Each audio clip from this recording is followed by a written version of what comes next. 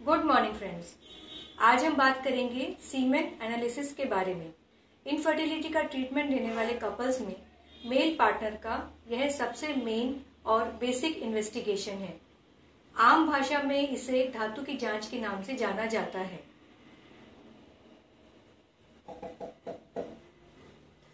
कई तरह के पैरामीटर्स हैं, जैसे कि volume of ejaculate number of sperms per ML presence of abnormal looking sperms, motility of sperms, evidence of infection, presence of fructose.